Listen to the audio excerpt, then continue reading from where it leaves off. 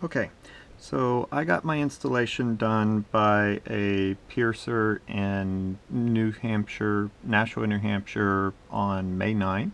This is just a recap of how it went, or not recap, but a uh, uh, video of, of the after uh, effects of it. I, I wasn't entirely happy with the installation because I feel that it was um, done kind of close to the surface. Um, if you see, if I make a fist, you can see it bulging out just a little bit, and you, you can always feel it very easily um, to the touch there. Uh, that said, it's not uncomfortable in any way, um, even if I, I pinch it like this or um, move it to the side, you know, I can feel it, but on with my finger, but I can't feel anything on the inside.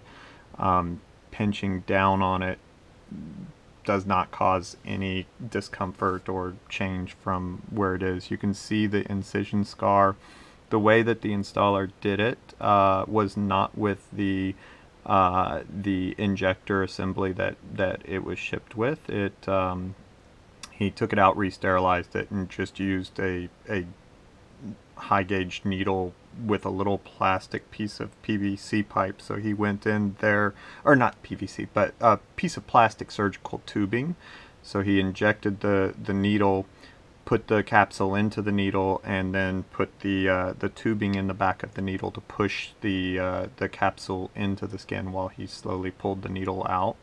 Immediately after extracting the needle, he started pushing on the skin here to get some of the blood to ooze back out of the uh, entry site.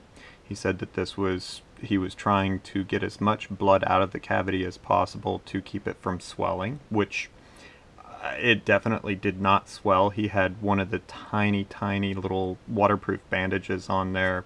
Uh, it was on for two days. I took it off, and you know the scar is is very, very, there's no actual scar tissue, and I imagine that discoloration will probably fade after another month or so.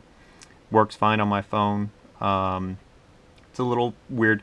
I thought that it was at too far of an angle, but from what I understand of the of the being parallel to the the this bone here, it definitely does seem to be parallel, even though it's further back uh, than I think a lot of the other ones are up here instead.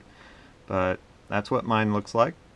And uh, makes it a little weird to open the door lock. I, I basically reach up and put the, the door lock is here. I put my hand up to it like this and have to kind of bend my wrist a little to get it to go, but it definitely works.